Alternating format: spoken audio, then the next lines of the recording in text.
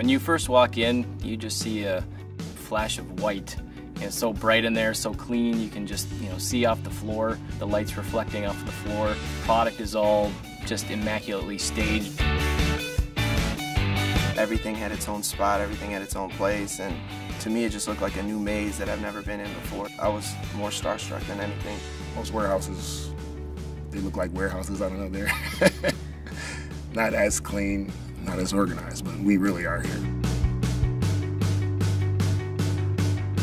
Warehouse is special because of, I think, our work ethic. There's a lot of orders coming through and a timeline to get things out, and we get it done every day. It's pretty selective, so in order to get into a very selective place, you, you have to feel special about it.